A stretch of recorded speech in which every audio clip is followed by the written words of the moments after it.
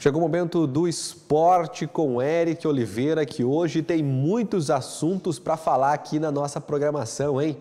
Boa tarde, Eric. Muito bem, Leandro. Boa segunda-feira para ti, para todos que nos acompanham no Bom Dia Notícias. Uma segunda-feira que começa nem tão boa assim, a não ser para os colorados, né, que acabaram tendo uma vitória surpreendente para cima da Chapecoense. Vamos começar com o Ipiranga, porque o Ipiranga tinha uma missão difícil, não era nada fácil. Jogar em Novo Horizonte contra o Novo Horizontino, talvez seria aquele cenário perfeito para o Ipiranga conseguir dar a volta por cima. Aquilo que nós falávamos já durante a semana, e o Ipiranga se preparou para isso. Estava trabalhando muito concentrado e saiu daqui de Erechim com muita confiança, isso que falava a comissão técnica. Mas em campo eu vi um Ipiranga um tanto quanto diferente disso. O Ipiranga perdeu por 1 a 0 para o Novo Horizontino. Talvez o resultado de equivalência, um empate em 0 a 0 seria o mais justo. Nenhum a 1, para mim, 0 a 0. Mas, nos últimos minutos, 47, num lance absolutamente, absurdamente duvidoso, questionável, o VAR pega um toque de mão do Eric e marca a penalidade máxima para o Novo Horizontino, que foi lá e fez, e depois conseguiu essa vitória. Uma vitória que, para o Novo Horizontino, é de suma importância, porque o, o, Novo Horizontino, que havia tomado uma sapatada de 5 a 0, e aquilo que nós sempre brincamos, que um 1 a 0, perder de 1 a 0, perder de 5 a 0, não faz muita diferença. Valem os mesmos três pontos cada jogo. Então, o Ipiranga, desperdi... o Novo Horizontino tinha deixado três pontos contra o Manaus, jogando lá no Amazonas, e agora, em casa, consegue três pontos para cima do Ipiranga, importantíssimos. Do outro lado, o Ipiranga, que viu nesse final de semana discussões, inúmeras discussões, e até algumas manifestações me chamaram bastante atenção. Se é o momento agora de chutar o balde em tudo que foi construído desde lá do início do ano, eu acho que não. Todo mundo sabe que eu sou sempre muito otimista em algumas questões. Eu acho que o Ipiranga sim tem condições, até matematicamente, de vir a ser um dos classificados para a disputa da Série B do Campeonato Brasileiro, mas agora ficou difícil. O Ipiranga Agora, obrigatoriamente tem mais três, quatro partidas.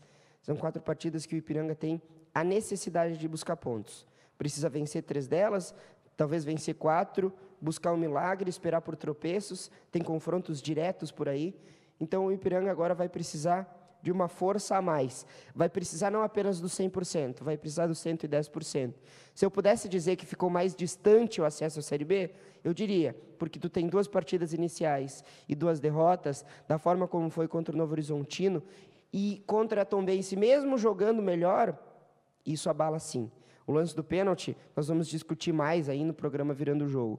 Eu acho que o erro está no princípio. O VAR não deveria ser chamado. A arbitragem errou quando chamou o VAR. Depois do árbitro ter sido sinalizado de que havia um possível toque, vendo a imagem, seria inconcebível ele não marcar o pênalti. Então, para mim, o erro está no princípio. O VAR não deveria ser chamado. Mas nós vamos discutir mais sobre isso no programa Virando o Jogo, já projetar o próximo confronto contra o Manaus. Agora é vencer, superar o adversário ou conquistar os três pontos. Espero que o técnico Júnior Rocha, que com certeza faz um trabalho admirável aqui no Ipiranga, esteja a par e que consiga dar esse esse tão esperado reconstru, essa reconstrução, essa reação para o Ipiranga.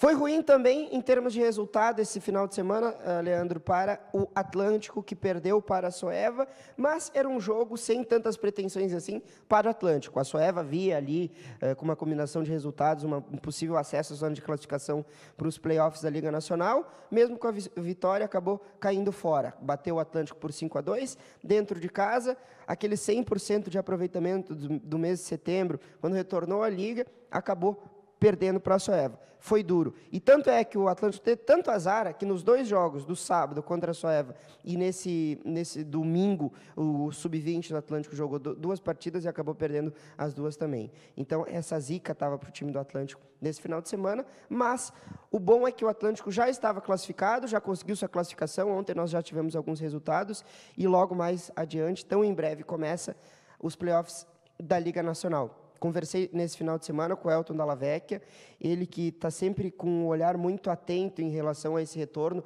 de público, porque é bom lembrar que esse jogo do Caldeirão do Galo não teve público, mas as discussões que envolvem os clubes que disputam a Liga Nacional Elite do Futsal Brasileiro é de que tão em breve Talvez nessa fase já de oitavas de final da Liga Nacional, nós já possamos ter o retorno de público nos ginásios, o que seria excepcional, não só para o Atlântico, como também para o futsal nacional. Leandro, a dupla Arenal vive uma dualidade, talvez fazendo marcas históricas, a famosa gangorra, quando um time está bem, o outro time está muito mal. O Internacional conseguiu uma vitória maravilhosa contra a Chapecoense. No retorno do público ao Beira-Rio, mesmo jogando com alguns desfalques, o time do Diego Aguirre atropelou a Chapecoense. Jogava contra a Lanterna. Fato é, né, que o Internacional pegava o time que estava lá embaixo, na zona do, do do rebaixamento, a lanterna da competição, e o Inter não tomou conhecimento da Chapecoense, com três gols do Yuri Alberto, aí para mostrar para o Diego Aguirre que ele não precisa, daqui a pouco, ficar trocando o Yuri Alberto para jogar pelos lados do, do, campo, colocando o Paulo Guerreiro, insistindo no Paulo Guerreiro, sendo que tem um jovem promissor que acho que até o final do ano ele fica no Internacional. Depois vai ser difícil segurar ele. Um baita de um centroavante. O próprio Matheus Cadorini também entrou, fez gol. A, a, o celeiro de ases do Internacional, que há pouco tempo atrás eu era muito crítico com essa direção, que vendia por preço de banana esses jogadores, agora, quem sabe, poderá fazer algo diferente, como tem feito com o Yuri Alberto com esses novos talentos que começam a surgir no Inter. O Inter que começa a pensar agora, materializar com mais efetividade a zona de classificação Libertadores, no G6, e até mesmo o G4 por que não? É uma sequência bem positiva. O técnico Diego Aguirre falou sobre essa vitória e já começou a pensar no restante dessa semana, agora com um jogo no meio de semana y um no final de semana. Vamos oír el técnico do Internacional. Bien, eh, voltar para, para ver a Río con torcida es, otra cosa.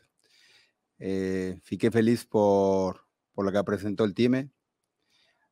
Acho que tener una conexión a torcida con los jugadores que, que les también estaban felices y jugaron mucho y hicieron un, un grande juego. Entonces, primera cosa, fiquei feliz por eso.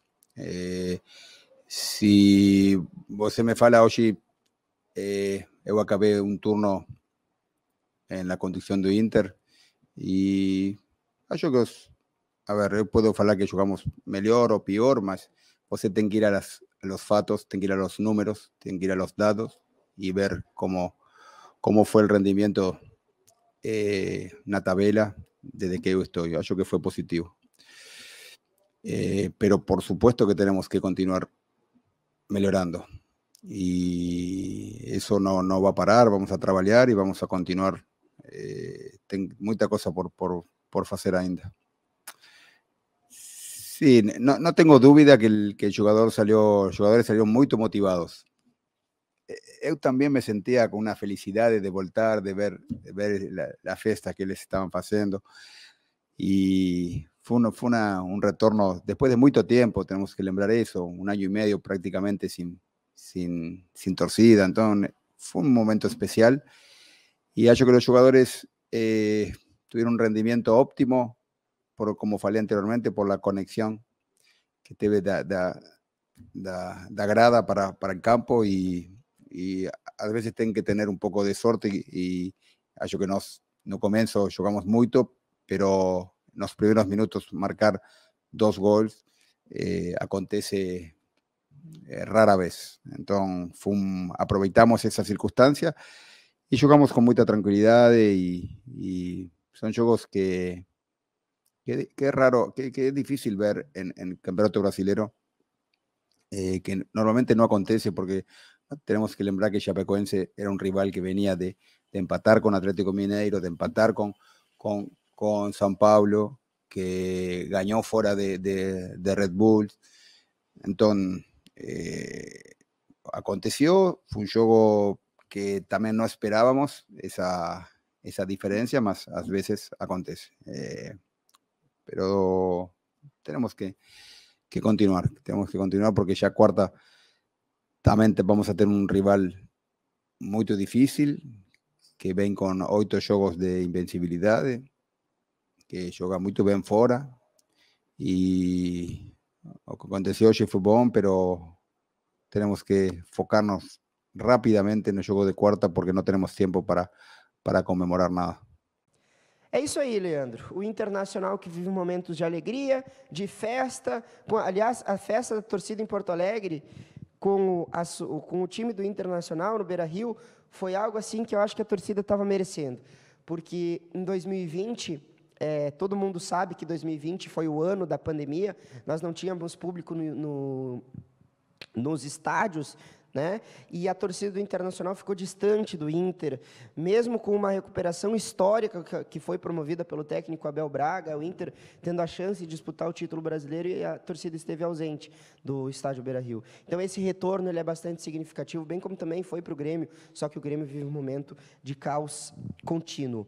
Por falar em Grêmio, vamos falar uh, sobre o Grêmio, porque nesta segunda-feira nós tivemos uma informação mais concreta ali sobre tudo que está envolvido, sobre a Arena, sobre o CT Presidente Luiz Carvalho, porque na noite de ontem, após as duas entrevistas coletivas, após o encerramento do jogo, o Grêmio perdendo por 1 a 0 sobre o Santos, o clima já era de desespero, não só da torcida, bem, bem como também da direção do clube, que não haviam bancado na coletiva a permanência do técnico Luiz Felipe Scolari e que depois veio a se confirmar. O Grêmio não voltou a Porto Alegre, permaneceu permanece em concentração para o jogo que acontece em Fortaleza e no hotel. A direção do Grêmio chegou a um acordo com o Felipão. Se ele foi demitido ou se foi um acordo, é tudo muito incerto ainda. Mas há quem diga, algumas fontes que digam que o Felipão foi demitido pelo presidente Romildo Bolzan. Na coletiva, o Felipão, esse mesmo ainda técnico do Grêmio, tentou dar alguma explicação para o Grêmio que jogava uma batalha, não dos aflitos, batalha da Vila Belmiro, contra o Santos também, com uma Vila Belmiro fervendo. O clima foi de um filme de terror se é que nas outras partidas não foi. É que acho que baixou o nível, né? Cada filme de terror fica um pouco mais, mais grave a situação. Esse foi daqueles que tu se desespera, vendo o cenário que foi apresentado no jogo de Grêmio e Santos. O goleiro Breno salvando, fazendo um milagre no primeiro tempo, no segundo tempo, da mesma forma, o Grêmio sofre o gol, o goleiro Breno sai desesperado, chorando copiosamente, sai, uh, deixa o gramado. O Rafinha é expulso, querendo agredir Gandula, uma coisa assim que é inacreditável. E depois, na coletiva, o Filipão tentou dar alguma explicação. Vamos trabalhar? Pois é, Filipão. Infelizmente, o Filipão não é mais o técnico do Grêmio. Vamos ouvir o que disse ele antes de ser demitido após o confronto de Santos e Grêmio. É, temos que continuar trabalhando com toda dedicação, com tudo aquilo que, que sabemos e que colocamos em prática nos jogos, e nos treinamentos para ver se conseguimos fazer essa mudança, voltar a um patamar normal e conseguimos dar o passo é, que estávamos já três, quatro vezes para dar e não conseguimos. É, é, são alguns detalhes que nós estamos pagando muito caro por isso. E, e, e animicamente a gente vai se abatendo um pouco mais, é normal, mas temos que continuar trabalhando, temos que lembrar que temos uma, uma situação muito difícil do Grêmio, mas que não vamos nos entregar, não vamos deixar de fazer aquilo que sempre fizemos com dedicação, alegria, boa vontade, disciplina, uma busca do resultado. E nós buscamos o resultado novamente hoje, por alguma razão, tivemos lá uma outra oportunidade, o Santos no segundo tempo fez aquilo que tinha que fazer, nós tivemos não tivemos uma defesa do, do Breno, de uma defesa assim, eh, de bola chutada, é, mas tomamos o gol. É, é alguma coisa que vem acontecendo assim que só trabalhando que temos que conseguir mudar. Tem feito o melhor possível.